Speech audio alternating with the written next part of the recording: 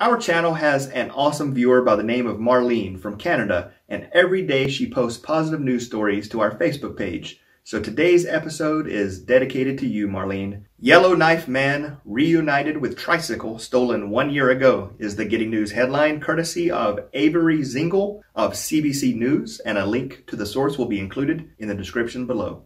A year ago, some kids made off with a three-wheeled trike belonging to Seppo Varela, a 70-year-old survivor of multiple strokes. His daughter, Arlene, said the trike meant freedom for her dad, who lost his driver's license after the series of health setbacks.